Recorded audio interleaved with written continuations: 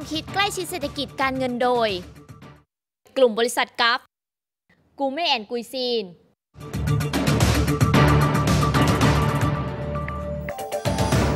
เข้าสู่ช่วงที่ 3 ของ Money Daily นะครับล่าสุดเซ็ตดีเด็กเปิดตลาดเปิดตลาดแล้วนะครับล่วงลงไป 8.24 จุดครับวินาทีปัจจุบัน 1,300 กับอีก 2 จุด ลงกันทุกกลุ่มเลยนะครับกลุ่มธนาคารพาณิชย์เช้าวันนี้ก็ปรับตัวลดลงมานะครับ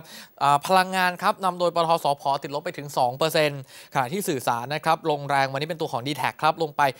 2.37%แล้วนะครับขณะที่ Advance แล้วก็ InTouch ลงไปประมาณสักเปอร์เซ็นต์กว่าๆจนถึง2%นะครับนักวิเคราะห์จะประเมินสัญญาณเช้าวันนี้อย่างไรไปตรวจสอบกันครับกับคุณนิพนธ์สุวรรณประสิทธิ์กรรมการผู้จัดการใหญ่จากหลักทรัพย์ไอราครับ สวัสดีครับคุณนิพนธ์ครับ สวัสดีครับ ประเมินกลยุทธ์เช้าวันนี้ยังไงดีครับอ่าประเมินยังไงคือตลาดขึ้นมานะครับ แล้วก็ชนแนวต้านนะครับ 1,312 ซึ่งการลงถูกต้องแล้วนะครับครับถ้าผ่านขึ้นไปเนี่ยก็แสดงว่าอ่าการ rebound จบนะฮะคือถ้าถ้าวันนี้เช้าขึ้นต่อเนี่ยจะไม่มีลุ้นเลยนะฮะอืมการที่ตลาดลงมาเนี่ยเราให้เราดูแนวรับที่ประมาณพัน สองร้อยเก้าสิบห้านะครับครับแต่สัญญาณที่สำคัญก็คือให้เราดู volume วันนี้นะฮะตลาดจะลงนั้นไม่เป็นไร แต่ถ้า volume มากกว่าเมื่อวานนะครับ มากกว่า 45,000 ล้านเนี่ย แสดงว่าการ rebound จบนะครับครับให้ดูให้ดูแรงขายเป็นสำคัญ เพราะต่างชาติยังไงเขาต้องต้องขายอยู่แล้วเขาถือ short ไว้ค่อนข้างที่จะเยอะนะครับครับอันนี้เราก็คือต้องรับอยู่นะฮะเราต้องการ index ของการปิดสิ้นเดือนเนี่ยประมาณ 1,330 เพื่อการจะ rebound ต่อในเดือนหน้านะฮะแต่ถ้าเดือนนี้เราปิด ขึ้นไปถึง1,330ไม่ได้เนี่ยตลาดเราจะยืนยันการลงต่อที่ต่ำกว่า1,250นะครับอืมคือที่แนะนำแบบนี้เพราะว่าอ่าเราจะเห็นว่าตลาดหุ้นทั้งโลก ตลาดตราสารทั้งโลกนะฮะผันผวนทั้งหมดเลยครับนะครับ กับการขึ้นดอกเบี้ยของอเมริกา ซึ่งเป็นประวัติศาสตร์ครั้งแรกนะฮะครับการขึ้นโดยที่เงินเฟ้อยังไม่ถึงสองเปอร์เซ็นตนะครับ เพราะฉะนั้นการการขึ้นของดอกเบี้ยของอเมริกาเนี่ยก็คือ ผมคิดว่ามันก็เป็นวิธีการที่ที่ถูกต้องแล้วอะนะฮะ เพราะว่ามันขึ้นมาโดยดีมานพูไม่ใช่คอสพุทนะฮะก็ขึ้นมาก็ถูกต้องแล้วนะฮะคราวนี้อ่าในโลกเองอะนักการเงินก็ไม่ไม่เคยเคยชินกับเรื่องแบบนี้นะฮะนะครับ ขึ้นในขณะที่เงินเฟ้อแค่ 0.6 นะฮะก็ก็มันก็จะผันผวนนะครับ ครับผมนะครับกลุ่โดมยเฉพาะอ่ากลุ่มน้ำมันเนี่ยก็ครับจะยังยังมีโอกาสที่จะลงต่ออยู่ นะครับผมล่าสุดอย่างสอพอที่ลงอีก 2%ในเช้าวันนี้ หลายคนก็กลัวนะครับว่าเอ๊ะพอน้ำมันตอน 35เนี่ยก็ว่าต่ำแล้วมันจะมีต่ำกว่านี้ไหมสอพอนี่ต้องคัดลอสไหมครับคือสพนี่มันเป็นมันเป็นปัจจัยสองเรื่องนะฮะเรื่องที่หนึ่งก็คือเรื่องการลงทุนที่ขาดทุนจากการลงทุนนะฮะครับซึ่งก็ต้องประเมินการกันสำรองใหม่เลยนะฮะ เพราะว่าราคาน้ำมันที่ลงมาเนี่ย สพก็ต้องการสำรองเพิ่มอีกนะฮะเต็ดเรียกว่าตัดค่าความเสี่ยงจากการลงทุนที่ที่ผิดพลาดนะฮะอ่า ซึ่งอันเนี้ยอันที่สองก็คืออ่าผลกำเนินงานของสพออกมาไม่ดีใช่ไหมครับ อันที่สองก็คือเจอราคาน้ำมันลงอีกก็เป็นสองเด้งนะฮะก็กระทบไปที่ตัวแม่คือปตทครับนะครับ ซึ่งจะจะทำให้ไตรมาสสี่เอ่อสพปตทก็จะขาดทุนอีก ซึ่งซึ่งตลาดประเมินว่าอ่าการขาดทุนของสพในยบัตทอมไปแล้วครันะบแต่ราคาหุ้นมันไม่ได้โชว์แบบนั้นนะมันโชว์ว่ามันลงต่อไปได้เรื่อยๆนะฮะอืม นะครับเพราะฉะนั้นก็ยังมียังลงต่อได้อยู่นะครับสำหรับสพ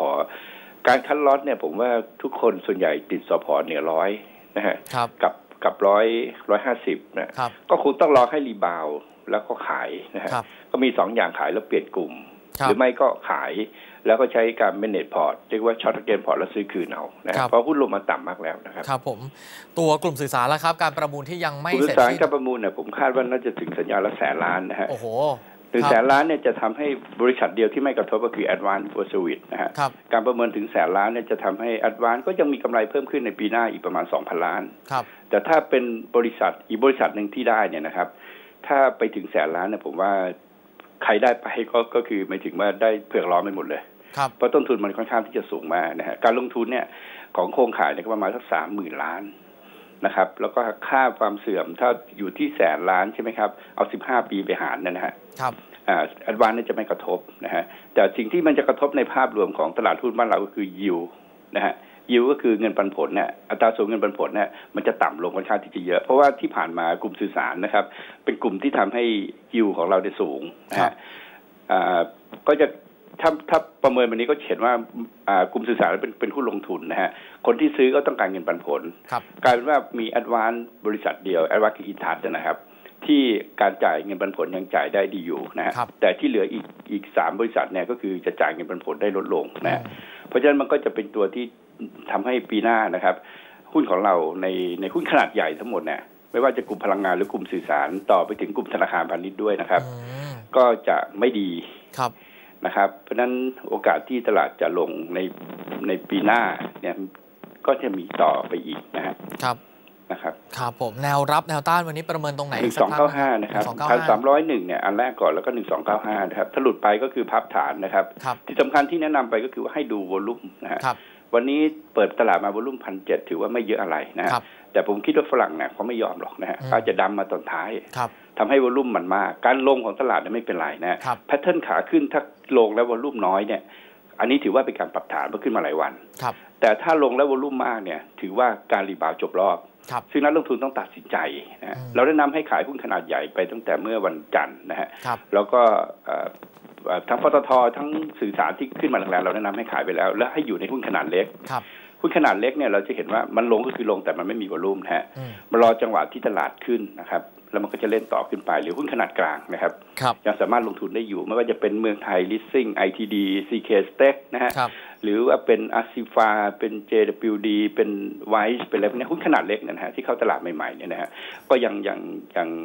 ตลาดลงมันลงนะฮะตลาดลงมันจะลงนะครับ แต่เวลาตลาดขึ้นมันจะวิ่งขึ้นได้ดีกว่า แต่หุ้นขนาดใหญ่จากนี้ไปนะฮะจนถึงปีหน้าเนี่ย กลางปีหน้าแล้วกันนะผมคาดว่าปลายปีหน้าหุ้นถึงจะขึ้นนะฮะครับให้หลีกเลี่ยงการลงทุนในหุ้นขนาดใหญ่ทั้งหมดนะฮะครับผมได้ครับ วันนี้ขอบพระคุณมากเลยครับครับผมครับสวัสดีครับคุณนิพนธ์ครับนั่นก็คือกลยุทธ์นะครับจากทางด้านของหลักทรัพย์ไอร่านะครับแนวรับ 1,295 ห้ามหลุดนะครับ แล้วถ้าเกิดหลุดพร้อมโวลุ่มนั้นอันดูไม่ดีนะครับ ขณะที่หุ้นแนะนำของรายการเช้าวันนี้ครับแนะนำกันในตัวของ Unique Engineering นะครับกำไรไตรมาสที่3เนี่ยออกมาโต 12%เทียบกับไตรมาสก่อนหน้าแล้วก็โต 4%เมื่อเทียบกับปีที่แล้วครับอยู่ที่ 175 ล้านบาท คาดการใน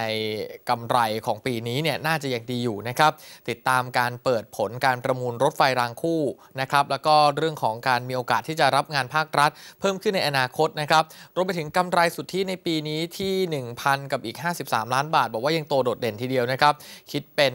เอ่อ97 สตางค์ต่อหุ้น เงินปันผลก็จ่ายกันสูงถึง 40%นะครับ หลักทรัพย์ไอร่าครับ ให้ 24 บาท 40 สตางค์นะครับ บัวหลวงให้ 25 บาท ราคาเช้าวันนี้ 18 บาท 80 สตางค์ครับ ก็ติดลบไป 20 สตางค์หรือว่า 1%นะครับ